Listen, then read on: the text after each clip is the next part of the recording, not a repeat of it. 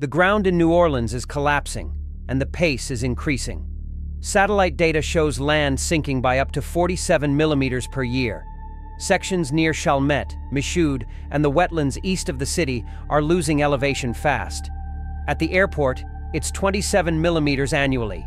Flood walls across the city are dropping, including those built after Katrina. Some are down by several centimeters and still sinking. Many of these defenses were raised to withstand a 100-year storm.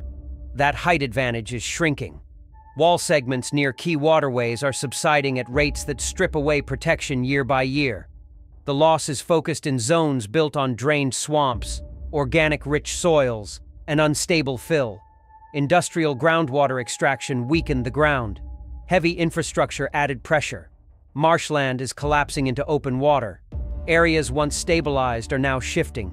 Several floodwall segments are dropping faster than sea level is rising. Their design elevations are already being breached in places. No repairs are visible. No reinforcements have been added.